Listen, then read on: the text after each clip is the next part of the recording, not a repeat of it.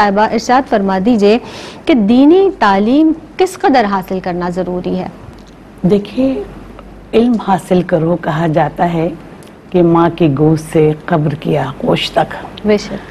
قرآن پاک میں اللہ تعالیٰ اشارت فرماتا ہے کہ اللہ ایمان والوں اور اہل علم کے درجات بلند کرے گا۔ نبی کریم صلی اللہ علیہ وسلم نے اشارت فرمایا کہ علم سیکھو اور سکھاؤ فرائض سیکھو اور سکھاؤ قرآن سیکھو اور سکھاؤ۔ دیکھیے علم حاصل کرتے ہیں مومن بھی اور کافر بھی لیکن علم دین صرف مومن کو حاصل ہے۔ اللہ امام مالک کیا پیاری بات۔ امام مالک فرماتے ہیں کہ ان سے کسی نے پوچھا کہ انسان کو کتنا علم حاصل کرنا ضروری ہے؟ تو امام مالک نے جواب دیا کہ انسان کو اتنا علم حاصل کرنا ضروری ہے کہ وہ اپنے دین سے فائدہ اٹھا سکے۔ دیکھیے تعلیم جو ہے اچھائی برائی نیکی بدی کا فرق سکھاتی ہے۔ ہمیں رشتوں کی پہچان آداب زندگی سکھاتی ہے۔ ہمارے اخلاق کو سنوارتی ہے ہمارے کردار کو نکھارتی ہے۔ اور یہی وہ علم ہے جو بندے کو اس کے رب کا عرفان عطا کرتا ہے۔ سبحان اور۔ دیکھیے عقائد اسلامی اور اسلامی تعلیمات کو دینی تعلیم سے جلا بخشی جاتی ہے گی تو ہمیں ہر حال میں اچھی تعلیم حاصل کرنی چاہیے اور دینی تعلیم حاصل کرنا چاہیے۔ دیکھیے کہ انسان کو اتنے علم ضرور حاصل کرنا چاہیے کہ وہ اللہ کی ذات صفات کی معرفت اور نبی کریم صلی اللہ علیہ وآلہ وسلم کی نبوت کے متعلق اسے ضرور معلوم ہو اور وہ تمام احکامات اس کے لیے جاننا ضروری ہے جس کے بغیر اپنا ایمان درست نہیں کر سکتا۔ مثال کے طور پر ہم نماز پڑھتے ہیں تو ہمارے لیے نماز کے ارکان کو جاننا ضروری ہے۔ اگر ہم حج کے لیے جاتے ہیں تو مناسک حج اور حج کے ارکان کے متعلق جاننا ضروری ہے۔ ہم ہمیں یہ بھی معلوم ہونا چاہیے کہ قبلہ کس سمت میں ہے بعض لوگوں کو یہ بھی نہیں پتا ہوتا کہ اتنی ہماری دینی معلومات ضرور ہونا چاہیے کہ ہم معبود برحق کو سجدہ کر رہے ہیں تو کس سمت میں کریں؟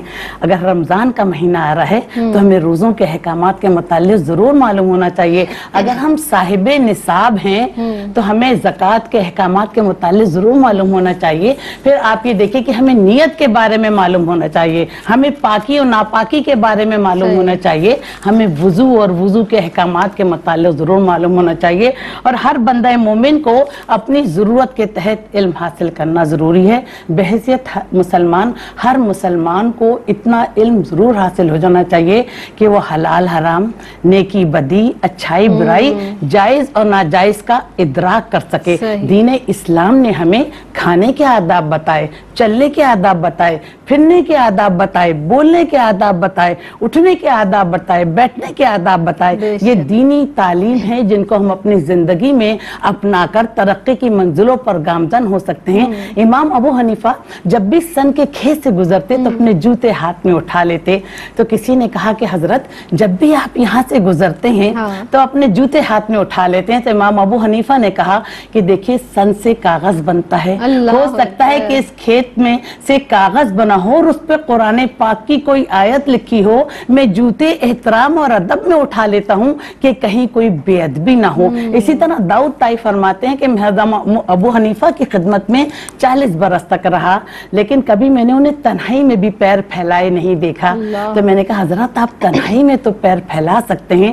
تو انہوں نے کہا کہ تنہائی میں اللہ تعالیٰ کے حضور اور زیادہ با ادب ہونا چاہیے۔ تو دیکھیے یہ دینی تربیت ہے ہاں۔ کہ میں آج اٹھنے کے آداب عبادت کرنے کے آداب روزہ رکھنے کے آداب نماز کے آداب والدین کی عزت کے آداب میاں بیوی کے حقوق کے آداب دین۔ اسلام نے زندگی کے ہر موڑ پر ہماری تربیت فرمائی ہے کہ۔ تعلیم دینا اور تربیت کرنا انبیاء کی سنت ہے۔ بشرط کہ ہم عمل کرنے والے بنے۔ دیکھیے اگر ہم آج بھی دینی تعلیمات پر عمل کر لیں تو یہ بہرا روی ختم ہو جائے۔ یہ ایسا۔ ہی۔ گدا گری ختم ہو جائے۔ معاشرے سے مسائل ختم ہو جائیں۔ لوگ کہتے ہیں کہ ہمیں نیند نہیں آتی ہمیں ٹینشن ہوتا ہے۔ ہم نیند کی گولی کھا کر سو رہے ہیں۔ تو آپ یقین کریں کہ اپنی دینی تعلیم کو اپنی زندگی کے لیے مشعل راہ بنا لیں تو آپ ہمیشہ نیند کی گولی نہیں کھائیں گے ہمیشہ اپنی نیند سوئیں گے اور اللہ کے ذکر کو اپنے دلوں سے آباد کریں۔